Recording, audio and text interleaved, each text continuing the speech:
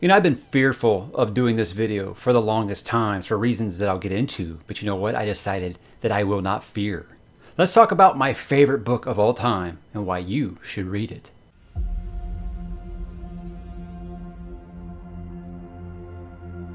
Deep in the human unconsciousness is a pervasive need for a logical universe that makes sense. But the real universe is always one step behind logic.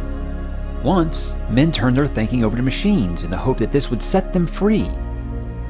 But that only permitted other men with machines to enslave them. The power to destroy a thing is the absolute control over it.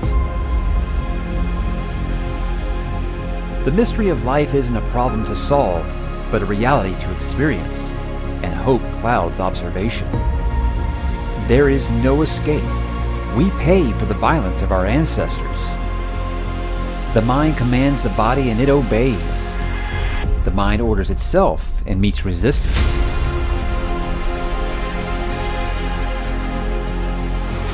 They betray the psychological tone, the deep uncertainties, and the striving for something better, plus the fear that nothing would come of it at all. I must not fear. Fear is the mind killer.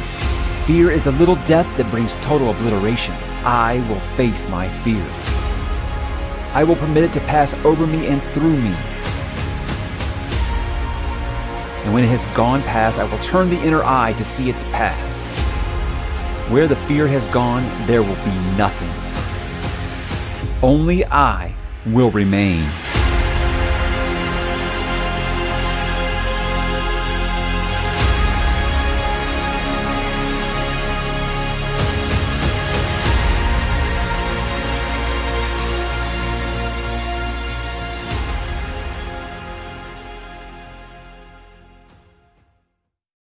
Hey, what's up, bookworms, sandworms, and fighting Fremen? I am Mike Muad'Dib, and I am here today to talk to you about Frank Herbert's Dune 1965, the best selling science fiction novel of all time, and if you ask me, the best book of all time. So, yes, cat out of the bag, guys.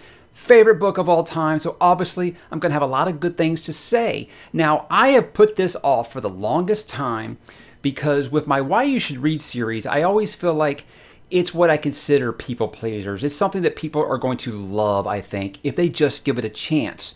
With Dune, I've kind of put off doing this one because I, um, I, I don't think that everyone's going to love this. I've even said before that I feel like at this point, most people that I recommend this to that try it are probably not going to like it. I expect more people to dislike it or be indifferent on it that actually love it like I do. So uh, that's why I've kind of put this off for the longest time.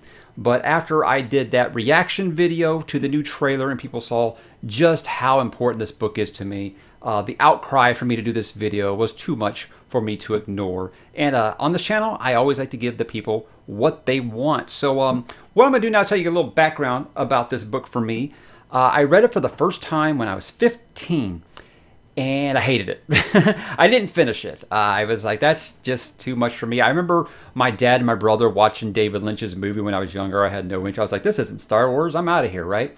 Uh, but when I got into high school, I found it in the high school library, and I said, hey, you know what? Why don't I give that a try? Uh, didn't finish it. I say I probably got to about the end, middle of the second act, uh, which I'm not going to be spoilers in here. Don't worry. But uh, I, I tried it again later on in high school and I actually finished it that time. I think I was 17 this time. I was a junior in high school. And I was like, you know, I kind of like it, but I think it was just really super pretentious. and, and, and I, I, get people say, hey, do you, you use, use the word pretentious when you were 17? Well, yeah, I'm a reader. You know, it just kind of comes along that way. Anyhow, a little bit of time went by and it was still in my head. And I was like, well, did I, did I, did I love the book? I, I can't even decide. Why is it still in my head? And so I tried it again, senior year of high school, right before graduation. And I remember being so thankful that I didn't have finals as a senior that I got to test out of because I became obsessed. I absolutely loved everything. It just clicked for me in a way that I could not explain. Uh, my third eye opened, you'd say. And all of a sudden, this book just completely changed the way that I viewed everything. And that's really what we're going to be talking about here. So while usually my why you should reads, like I said, they're going to be stuff that, hey, you give this a try, you're going to like it. This is going to be more of a why I love Dune. It's just going to fly under the why you should read banner. Uh, because I think that's more recognizable to people. And I think that there are a lot of people that are curious about the book. There's a lot of new interest in it after that trailer dropped. It's re entered Amazon's bestsellers list. I'm sure it's going to hit the New York Times bestsellers list here pretty soon. So I figured there's going to be lots of new opportunity for me to share this amazing story with other people who might not have given it a chance otherwise. It kind of feels like that Lord of the Rings moment for me where I've been talking about Lord of the Rings for the longest time, and friends were like, oh, I'm not into fantasy. And then that first trailer for Fellowship of the Ring came out, they're like, okay, I might try this out. And then they saw the movie and they loved it and then they read the whole series. So I kind of feel like that's what this is going to do for Dune for me, given that that movie is as good as I think it's going to be. But that is kind of my background here. A little background only on the book. Published in 1965, it's been translated into a dozen languages. It sold over 20 million copies and it is regularly cited as the world's best selling science fiction novel. There are people who will debate that with you, but I, I, I kind of think it's undeniable. It spawned five sequels uh, two movie attempts, uh, now uh, a TV movie in 2000. Uh, and like I said, the new movie is coming out here maybe soon. Depends on what's going on with uh, the virus It shall not be named. But let's get into it, guys, by talking about what is it about. Now, it is set in the distant future, the year 10,191, to be perfectly clear. And we are amidst a feudal interstellar society in which various noble houses control planetary fiefs. Dune tells the story of the young Paul Atreides, whose family accepts the stewardship of the planet Arrakis. While the planet is an absolute inhospitable and sparsely populated desert wasteland, it is the only source of melange, or the spice, a drug that extends life and enhances mental abilities. Melange is also necessary for space navigation, which requires a kind of multidimensional awareness and foresight that only the drug can provide. Now, as melange can only be produced on Arrakis, control the planet is thus a coveted and very dangerous undertaking. The series explores the multi layered interactions of politics, religion, ecology, technology, human emotion as factions of the Empire confront each other in a struggle for control of Arrakis and the spice, and in turn, control of the universe, shall we say. And guys, that is about as basic of a what is it about that I could give you without giving you any real spoilers there. So let's just move immediately into what makes it good or bad. Now, spoiler alert here. Uh, it's going to be mostly good coming from me.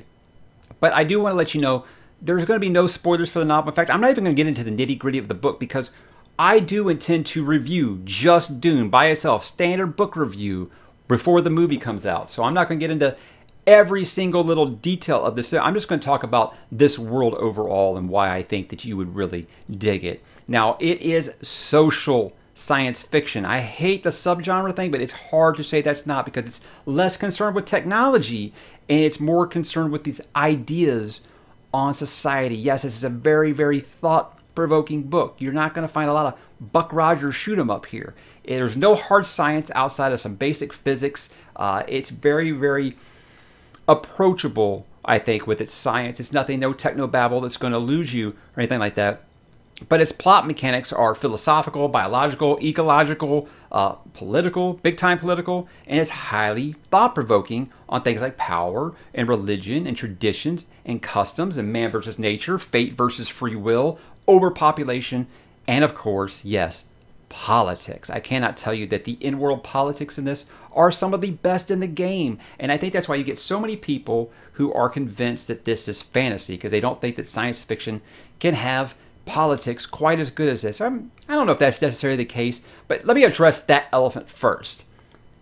This is called the best selling science fiction novel of all time because it is a science fiction novel. What I've always argued is it is a science fiction novel that is a good place to welcome in fantasy fans. People who've only read fantasy and they want to try out some science fiction, this is the perfect place to start. So I think that's why it gets there. Because if you're going to break it down like that, then I mean, is there really science fiction? Or is science fiction and fantasy the same thing? That's a conversation for another time. But I will go to my deathbed calling this a science fiction novel. There, had to get that out of the way first. Now, the people who love twists and turns and backstabbing and backroom politics, all that stuff you loved about when you were watching Game of Thrones or whatever, you're going to feel right at home in this world. And I'll get into that influence here in a little bit because there's not a page that goes by where you're like, well, that feels like some serious political posturing, but whose side are they on? Who's doing this? Hey, who's working in the shadows over here? You are questioning the whole time and it's not in a way where it's just like it's not a scooby-doo thing where you're like well it's just going to be this person. That makes the most sense.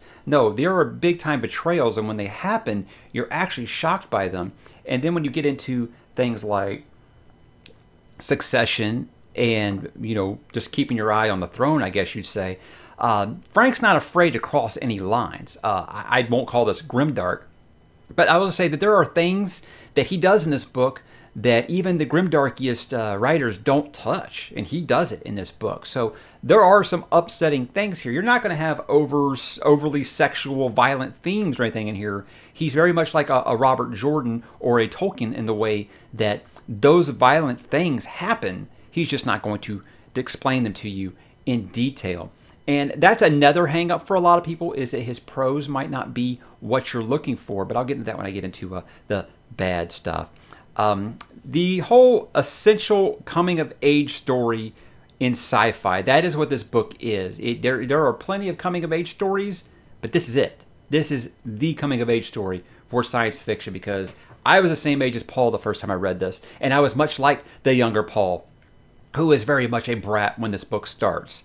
And then I think as he grew and I grew, we were the same age at the end of this book when I really just clicked with the book. And I think that that really made it where I was able to identify with this guy, you know, who was just afraid to embrace his uh, his responsibility, his duty, and he has to grow up overnight. It's one of those kind of things. So it, very very relatable to, uh, to to young readers, I think, and that's why I say also I don't necessarily know if it's one of those things you have to read while you're younger. I don't think so, because uh, I know lot, the reading level for this is a little higher than us than your standard. This isn't YA or anything. I wouldn't call it an overly difficult read or anything. I just think maybe if you've read something like Lord of the Rings, I think you'll be okay here. But you know, if, if you're going straight from like The Hobbit to this, it might be a little tough for you because it is a, a large jump in the uh, the reading level there. But again, that just depends on you. Obviously, that just depends on you. But um, yeah, the, the idea of dealing with what your destiny could bring to the future. That's the big one in this book where it's just like, would you do what you have to do if you knew what the result was going to be and it wasn't a happy ending? It's it's it's got so many struggles like that. And again, this book isn't pew pew pew shoot 'em up. This book is seriously thought provoking and in ways that you cannot compare to any other story. I mean, there's been numerous things that have tried to rip this off, and we're going to talk about those here in a minute. But again, it's the struggle of doing right and wrong, or what you think is right. Is it right for everyone else? Is it self-serving? You know, those are these are the kind of questions that Paul has to face in the story. You think about the responsibility that's that's thrust on this young man's shoulders at this age is just immense. I mean, it's the weight of an entire planet, literally and in the universe. So, uh, yeah, uh, it's really hard not to get into spoilers, talk about stuff like that. But uh, displacement, death, love, family, uh, adaptation to new cultures and ideas, these are things that I really feel like a lot of science fiction struggles with. And Frank was not afraid to tackle these ideas. He went right for it. If you're one of those people who loves to have some kind of social narrative in your book, you're going to love it. Because if you're looking for it, it's probably there, especially those save the planet types. It's going to be there if you're looking for it. Uh, the ecology of Dune is a subject all in its own. Uh, so, I mean, Frank himself was an ecologist, so it, it makes sense why that's all in here. And it, again, it'll really make you think, and especially overpopulation, lack of resources. That's a big, big thing in here. So, again, all you green people are going to find something to love here for sure. Now, if you've watched any of my Stephen King videos, you know I am a sucker for the coming of age story.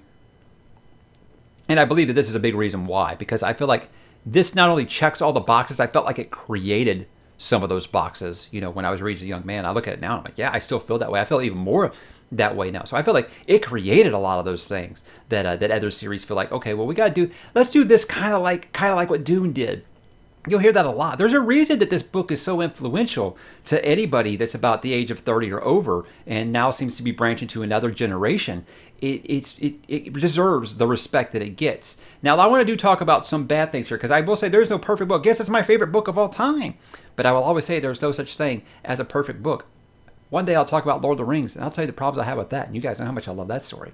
So uh, it is slow paced.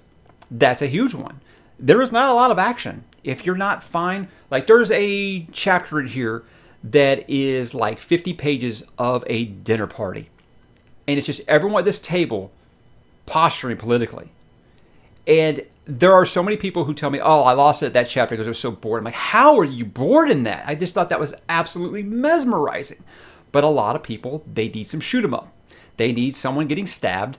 They need someone getting shot. They need someone getting betrayed. It, look, you're going to get a lot of that stuff in this story, but it's not all front loaded or back loaded like you're expecting.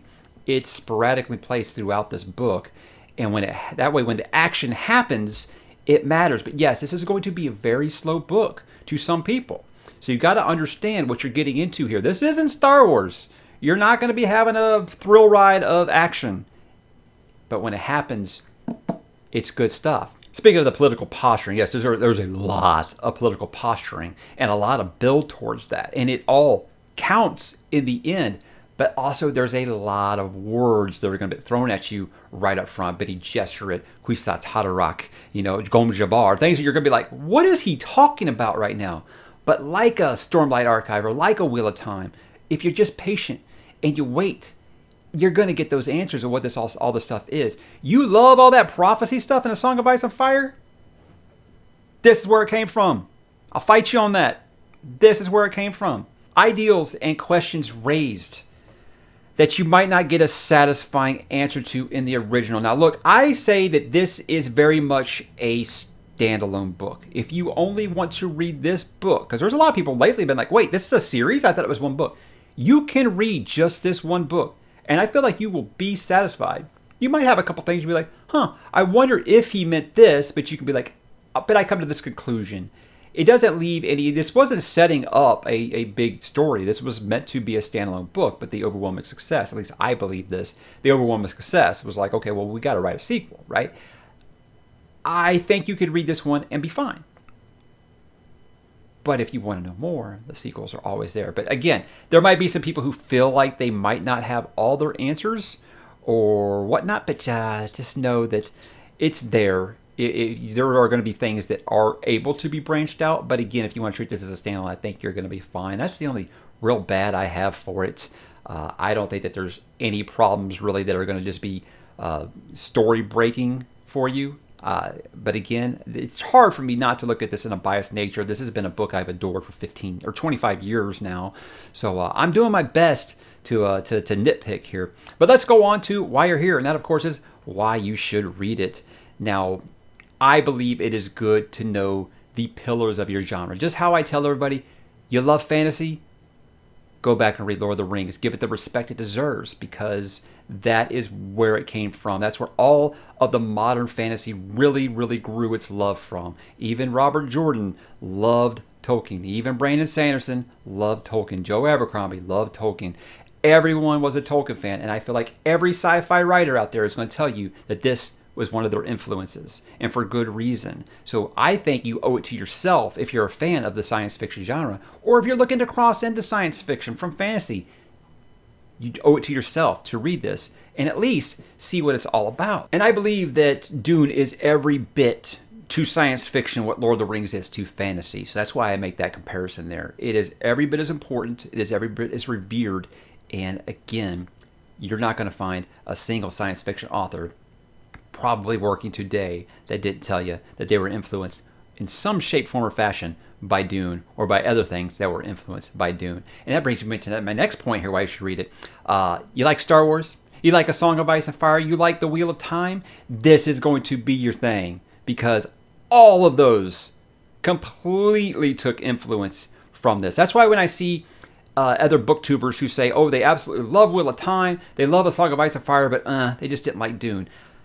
I'm sorry, I hate to sound the whole gatekeeper thing, but I have to question if you really read it because it's blatantly obvious. One of my mods just read uh, Dune and was like, oh my god, I see so much Wheel of Time and I see so much Song of Ice and Fire in this. I'm like, it's impossible not to because they're there. The Aiel are the Fremen. The Bene Gesserit are the Aes Sedai. I mean, you could do this all the way down the line. You ever heard of Azor Ahai? Yeah, that comes from Kwisatz Haderach. It's this stuff is just blatantly obvious to anybody looking for it. You like the good old House Wars in a Game of Thrones? I cannot tell you enough how influential this is. I say this as a humongous Star Wars fan, but there would not be a Star Wars without Dune. I mean, even Frank himself said he was too good to sue George Lucas, but he should have, right?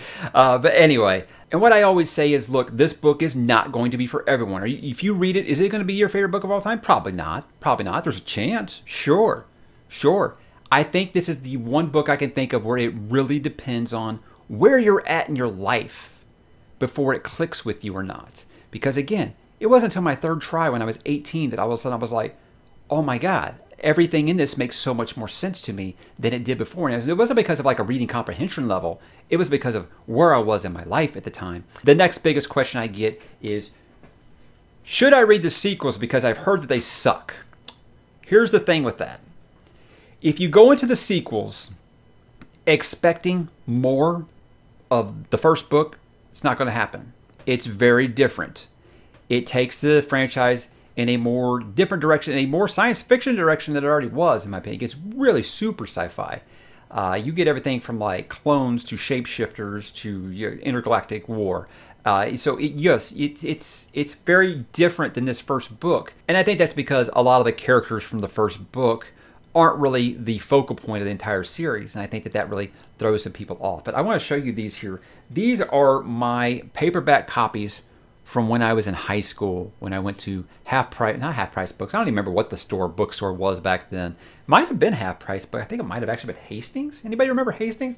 Anyways, if you can see up there, I upgraded when they put out the new uh, paper trade paperbacks from these because I thought, hey, these had got enough mileage off of them, but I couldn't bear to get rid of them because I mean, look, these these are my high school years right here. I mean, look how worn these bad boys are. These are just like my Star Wars EU novels in that they have been torn up what I will say about the sequels is if you're going to read the sequels, make sure you read Messiah and Children of Dune together because it is one story. Dune Messiah is basically a bridge novel to get to Children of Dune. So make sure you commit to reading 2 and 3 if you read the sequels because it is a very satisfying arc. If you read just Messiah thinking that it is a sequel to Dune, you're going to be let down by it. But if you read Children of Dune and Dune Messiah together, you're going to love it. And I cannot tell you what it was like to be 20 years old and trying to wrap my head around God Emperor of Dune. I don't know if modern audiences can handle this book, honestly. Uh, there's a guy in the Discord right now, very young, about the same age that I was when I read this series for the first time, and he's got uh, God Emperor on his list next. And I'm very interested to see what he thinks because at 20 years old, reading God Emperor of Dune was like, now, when you get to the next two, I, I'm, I'm kind of iffy on those. You know, I might revisit them sometime. I don't know. I think when I was in my 20s was the last time I had a full series reread. I really felt like it should have ended after God Emperor. And I'm not even going to get into the stuff that Frank Herbert's kid has done, the bastardizing that he's done to the series. So uh, I can't even really go into that. But look, are the sequels bad? No, not at all. They're just nothing like the first one. Also, when you're talking about arguably the greatest science fiction novel of all time, how do you follow that up? You know, that's that's like your your first album is incredible, and you're just gonna be pressured to always top that first album, and it, it rarely ever happened. But like I said, I think that the uh, the central focus of those stories completely shifting will throw some people off. But look, guys, I do want to get into my final thoughts here. And I'll say, look, Dune changed my life, and that is not hyperbole. I know a lot of people say, oh, yeah, that book's so great, it changed my life. They don't mean it. I mean it with Dune because it taught me two life lessons that I still use to this day. When I was a very young man, I had absolutely no confidence. None. I was always constantly afraid of failure. And I'm sure you know where this is going. By now, even if you haven't read the book, you know the fear, the, the litany against fear, which I will not fear, fear is a mind killer, right? Everyone knows this. I think that that's just like a big pop culture thing. And people who've never read it are like, oh, is that what that's from? Uh, I thought that the litany just spoke to me when I was, like I said, first finding my confidence. I could put on a camera like this and talk back then. Uh, anyway, anything in life, I was always afraid of failure. I had the lowest self esteem. I came from a dysfunctional family. I thought that life was crap. And then I read this book and it taught me not to fear, right? And I, I, know that that sounds corny to some people, but I took it to absolute heart. It became like a mantra to me. Look, the litany just spoke to me, right? It taught me that it's not wrong to experience fear. You just need to acknowledge it for what it is and just assess the warnings that fear is crucial but letting it dictate us is is fatal. You know, and, and again, I know that might sound kind of deep to the most the kind of things I talk about in this channel, but that's just how important this book is, and it really is the only book I can think of that really taught me life lessons. And the other one is it taught me not to trust and worship leaders because they're just people like you and I. They're not a messiah. You know, that's the biggest takeaway. Don't blindly follow anyone. Don't follow some cult of personality. Think for yourself, be a free thinker. Don't live in an echo chamber. Think for yourself. Don't trust leaders. That is just a humongous mantra that I've used my entire life.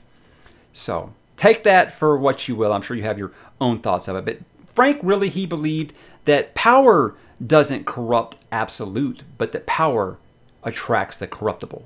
You know, and that's a little different than most people would go with. And uh, like I said, those are two lessons that I have put into my life every day since I was a teenager. And not only did it help me overcome being just a big scaredy cat of everything, uh, I believe it helped me find confidence. It helped me overcome a lot of obstacles that I shouldn't have, and it helped me not really repeat a lot of the mistakes that uh, you know previous generations of my family have. So if you think that's over the top praising a book for that, uh, I mean, you might be watching the wrong channel because I do believe that a book can change someone's life with the words on it, not just necessarily the story, not just being like, hey, I'm going to role play and pretend that I'm this character. No, it's nothing like that. But it's the lessons that this book had in it is what made it so special to me. And it's why I think if you find something in there that you identify with, anything close to how I identified with it, it's going to be a book that you want to read over and over again because I truly believe every time that you read this book, you will find something new that you didn't the last time. I've read this book 12 times. And every time I come up with something new to take away from it that I didn't before. And guys, that is why I think that you should read Dune by Frank Herbert. Now, I'm going to do a full review for this where I'm going to get into the story, I'm going to break down the characters, and I'm going to do more than just talk about the philosophical nature of this book. I'm actually going to talk about the story. So that will be coming sometime before the movie comes out. Like I said, right now it says December. I doubt that's going to happen. But uh, whenever it comes out, I will start reviewing the Dune books. I'm going to do at least the first four. That is the goal. So, guys, remember to let the fear pass through you because only you will remain. I'll talk to you guys in the comments. I can't wait. I hope you'll pick up the book. I'll put the link below if you want to buy it. It's an amazing book, and I hope you enjoy it one tenth as much as I have over the last 25 years. I'll talk to you then.